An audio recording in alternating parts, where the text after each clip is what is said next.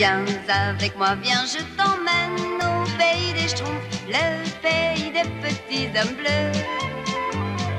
Viens visiter notre domaine, le pays des schtroumpfs, c'est le pays des gens heureux. Rien ne pourra nous empêcher au pays des schtroumpfs de vivre de vivre en paix. On chante, on schtroumpf alors si